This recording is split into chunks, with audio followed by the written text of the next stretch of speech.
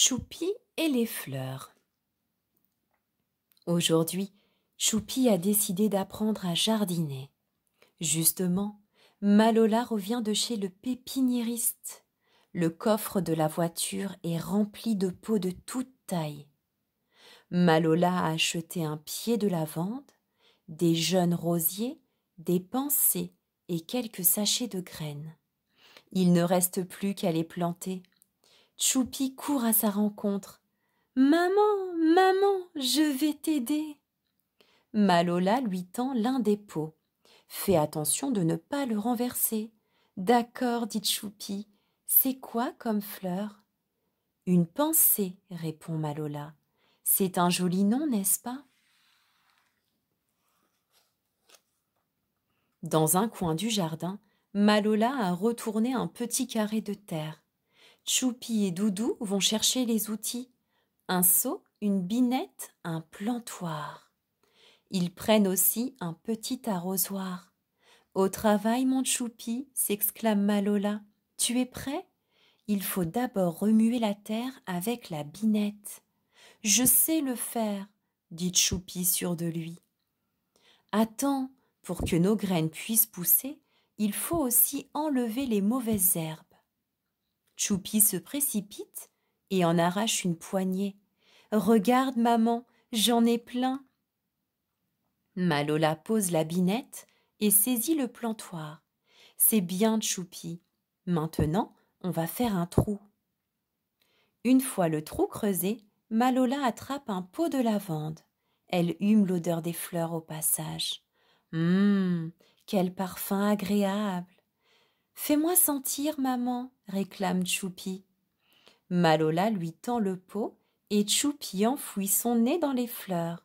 Il respire bien fort. Oh oui, ça sent bon, mais ça chatouille aussi.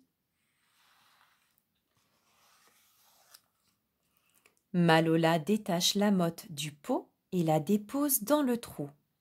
Autour de la lavande, elle plante les jeunes rosiers puis les encercle avec les pensées. Il en reste encore un pot. Allez, Choupi, tu t'occupes du dernier. Oh, chouette s'exclame Choupi tout content. Et je peux semer des graines aussi, maman? D'accord, mon petit jardinier, acquiesce Malola. Je te laisse finir tout seul. Choupi plante la pensée et ramène la terre tout autour. Il prend ensuite un sachet de graines et les verse dans sa main. Pendant ce temps, Doudou creuse plusieurs petits trous avec le plantoir. Choupi dépose les graines une à une. Bravo, Doudou, on fait une bonne équipe tous les deux. Soudain, deux petits moineaux se posent près de Choupi et se mettent à picorer les graines qu'il vient de semer. Choupi se précipite pour les chasser. Voleurs, arrêtez de manger nos graines.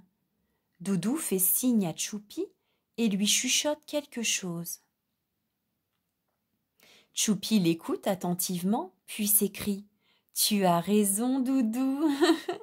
Ils vont voir un peu ces moineaux.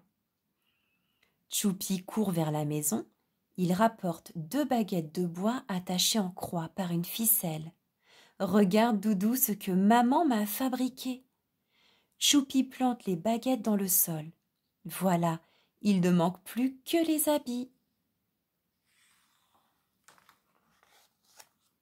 Choupi va chercher des vieux habits de son papa dans la cabane du jardin.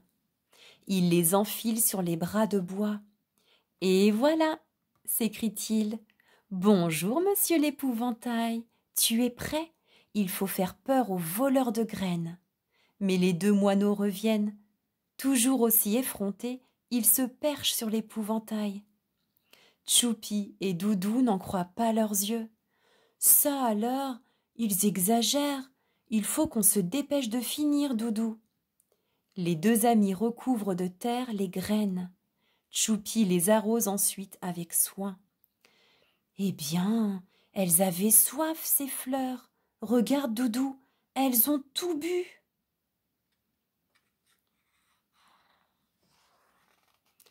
Choupi s'installe à plat ventre devant ses plantations.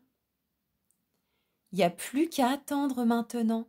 Les fleurs vont bientôt sortir. Quelques minutes passent et déjà Choupi s'impatiente. Allez, les fleurs, dépêchez-vous de pousser. Il se relève et marche de long en large en les observant. Tu crois qu'elles dorment, Doudou?